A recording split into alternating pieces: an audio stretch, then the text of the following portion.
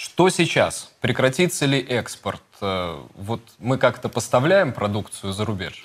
Ну, не как-то, а поставляем.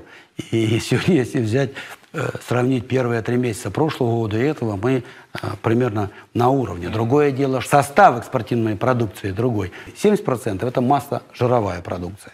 Вот. Что касается зерновых, которая э, доля была больше в прошлом году, сегодня она меньше. В связи с тем, что правительством Российской Федерации, вы знаете, приняты определенные ограничения по экспорту той или иной продукции. То есть вот как раз зерновые э, здесь мы поменьше. Ну а в целом готовая продукция идет, э, молочная продукция, мясная продукция. То есть это э, на сегодняшний день реализация идет. За три месяца более 70 миллионов долларов составил экспорт продукции Воронежской области.